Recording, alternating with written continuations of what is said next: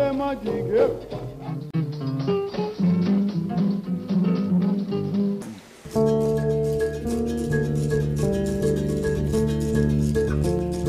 Bimba do Birimbau revela ao trio norte-americano segredos dos ritmos brasileiros.